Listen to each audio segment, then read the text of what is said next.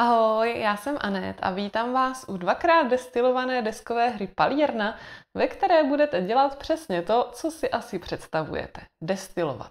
Whisky, rum, brandy, saké a nebo když vám to nevyjde, tak třeba jen obyčejnou vodku.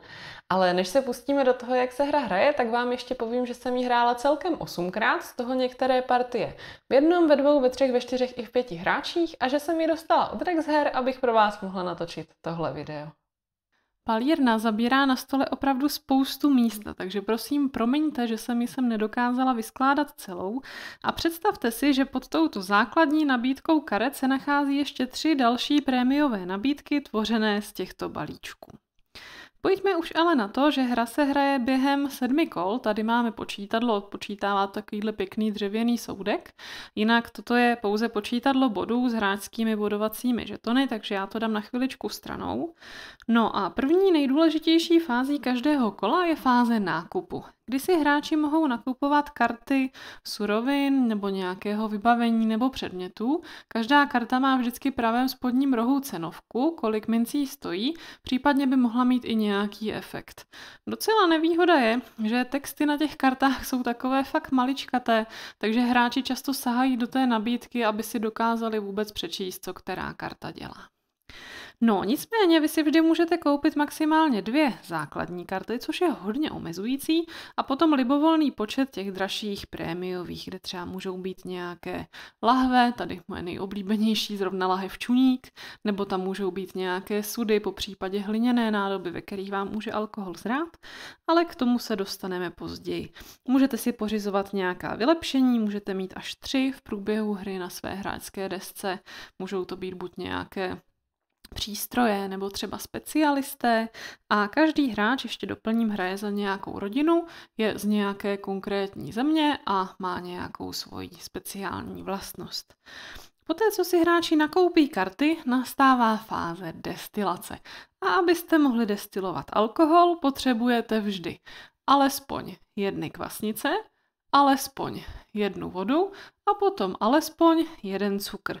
Přičemž podle toho, jaký cukr do vašeho destilátu dáte, tak potom budete mít finální výsledek. Tak dejme tomu, že tam dáme dvě tady směsi rostlin. Toto jsou základní suroviny, které já vkládám jakoby fiktivně do svého destilačního tanku. Hráči by si je měli pokládat takhle vedle hráčské desky. A za každý cukr, který do vašeho destilátu dáte, ještě přidáte kartu alkoholu. Takže přidáme dvě karty.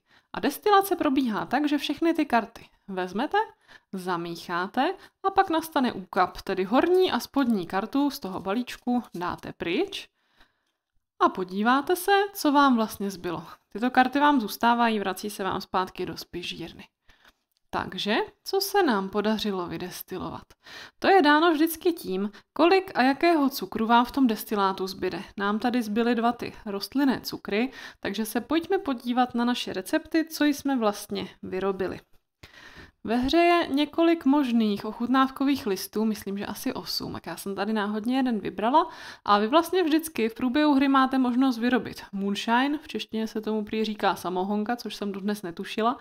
Ten bychom vyrobili tehdy, kdyby nám v tom destilátu nezbyl ani jeden cukr.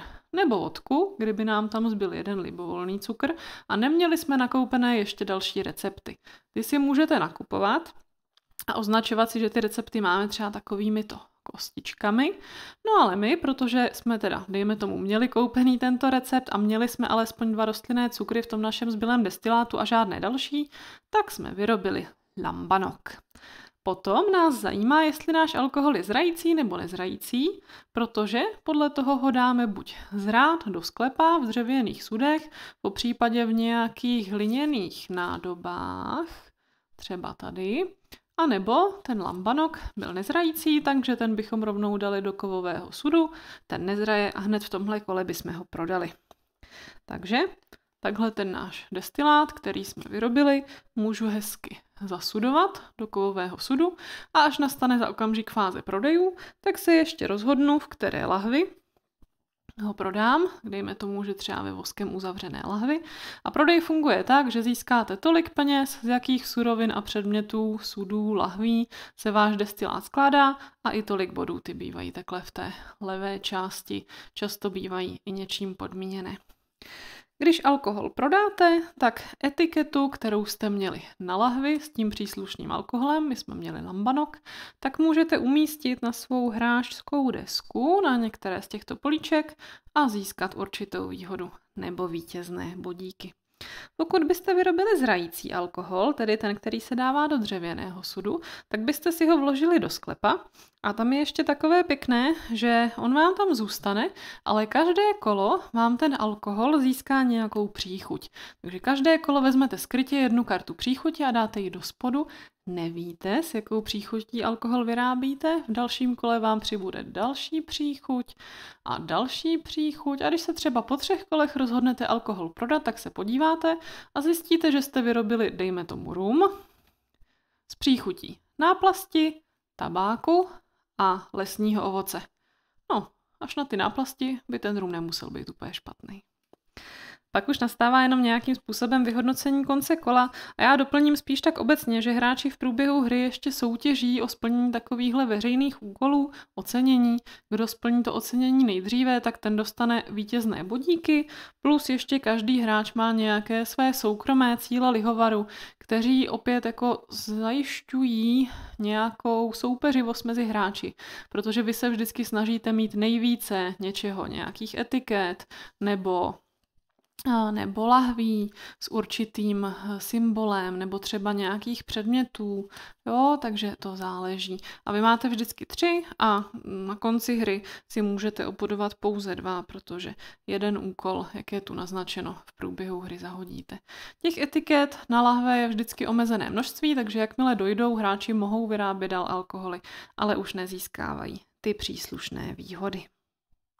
Už jen na základě velikosti krabice nebo i toho, jak dlouho trvá připravit hru, protože než vyskládáte na stůl těch 12 různých balíčků, karet, desky a všechny kartonové dílky přece jen nějakou dobu zabere, by se mohlo zdát, že palírna bude náročná hráčská hra. Ona ale klame tělem a dejte si na to pozor, protože za mě tahle hra patří někam na rozmezí rodinných a těch snadných hráčských her. Přestože by se mohlo zdát při prvním studování pravidel, že je tam toho hodně, tak během prvního kola hry pravidla v pohodě zažijete a potom ta rozhodnutí, která ve hře budete dělat, jsou poměrně jednoduchá a opravdu to za mě spadá spíš do těch her rodinnějšího charakteru, byť rozhodně ne tématem. Když už jsem to téma nakousla, klidně u něj zůstaňme, protože to je hlavní věc, kterou chci na hře pochválit. Ne, že bych byla takový alkoholik, ale moc se mi líbí, že se tady podařilo hezky propojit ty herní mechanismy právě s tématem pálení alkoholu, kdy nejprve musíte sehnat nějaké vybavení a suroviny, abyste vůbec měli alkohol z čeho vyrábět. Potom ty suroviny vkládáte do destilačního tanku, potom je všechny promícháte jako balíček karet v ruce, pak dojde k úkapu, tady se dostáváme k takovému jako relativně většímu podílu náhody, ke kterému se ještě vrátím, kdy dáte pryč horní a spodní kartu z toho balíčku a podíváte se, co jste vlastně vyrobili.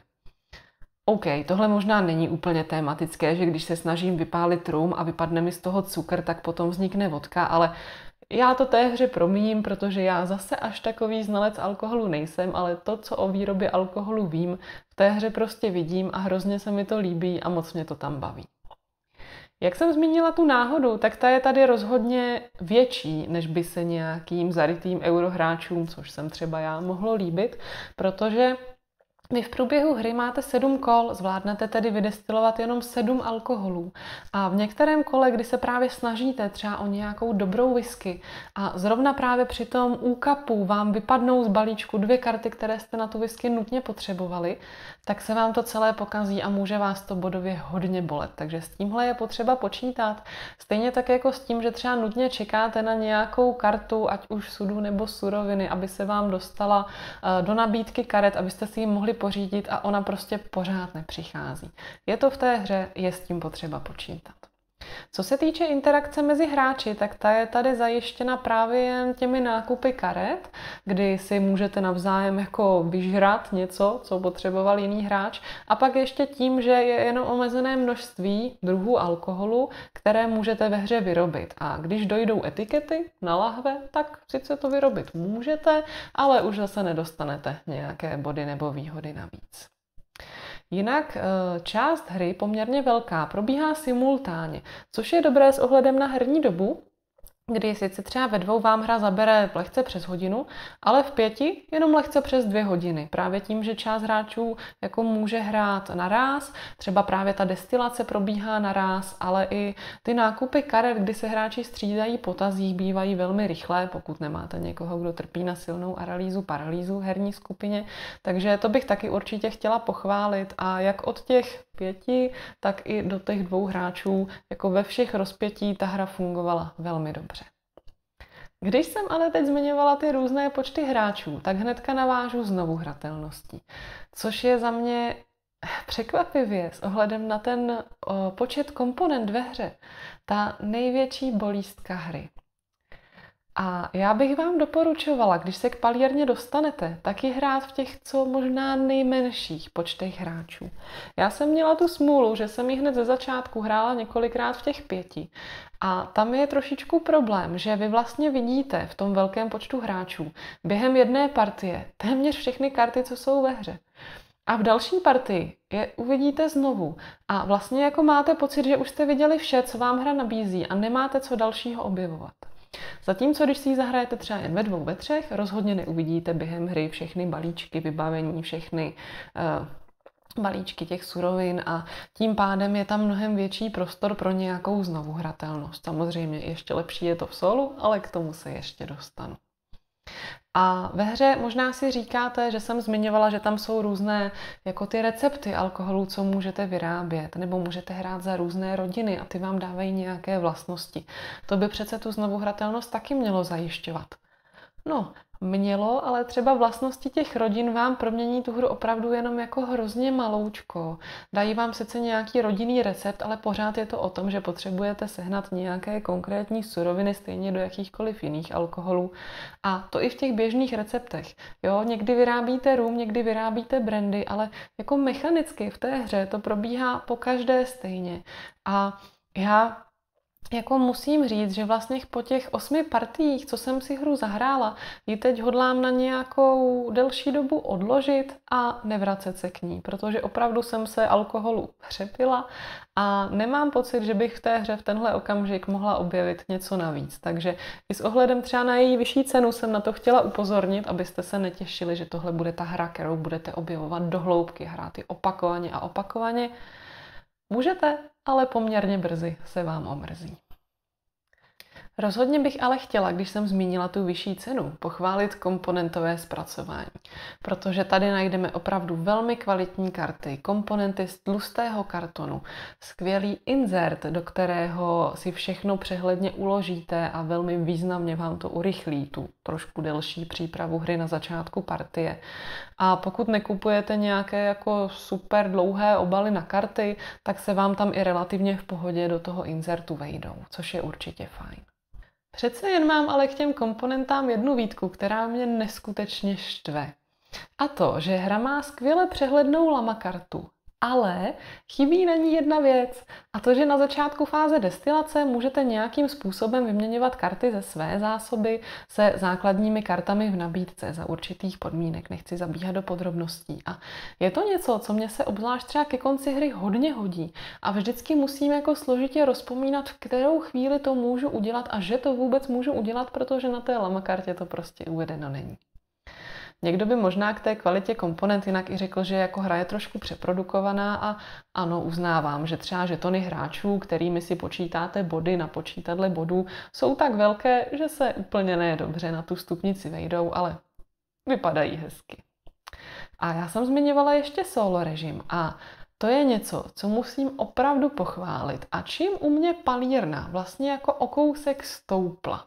Protože, jak jsem říkala, tak v závislosti na počtu hráčů, jako čím více, tím je horší znovu hratelnost. Logicky tedy v jednom hráči musí být nejlepší. A já jsem si myslela, že ani třeba nebudu ten solový režim zkoušet, ale překvapilo mě po přečtení pravidel, že Palierna ho má poměrně jako chytře navržený, kdy tam je takový jako strom úkolů a vy za určitých podmínek musíte jako v každé řádce toho stromu splnit alespoň jeden úkol. A podle toho, jaké úkoly splníte, se vám ještě určí, kolik bodů na konci hry můžete dosáhnout. Což je něco, co jsem v jiných hrách zatím ještě neviděla. A je to docela výzva, protože když jsem hru hrála naposledy, tak všechny úkoly jsem splnila, které bylo potřeba, ale to bodové skore se mi prostě nepodařilo dosáhnout, takže v solu mám určitě motivaci palírnu ještě zkoušet znovu a možná vám i natočím nějaký solový gameplay, abych vám právě ukázala, jak to tam s těmi úkoly funguje. A musím říct, že mě vlastně trošku mrzí, že se něco takového nepodařilo dostat i do hry více hráčů.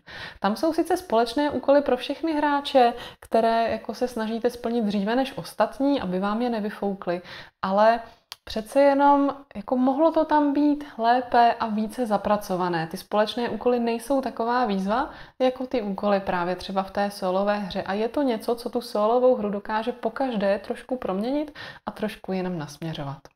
Ještě jsem nezmiňovala, když jsem mluvila o těch různých receptech, které během hry jako můžete vyrábět a kterých je ve hře asi 8, tuším, různých, tak je tam třeba i jeden jako nápojový lístek, zaměřený vyloženě jenom na nezrající, anebo vyloženě jenom na zrající alkoholy. Což je něco, co mě zajímalo a říkala jsem si, že třeba to bude to důležité, co tu hru významně promění i v těch více hráčích.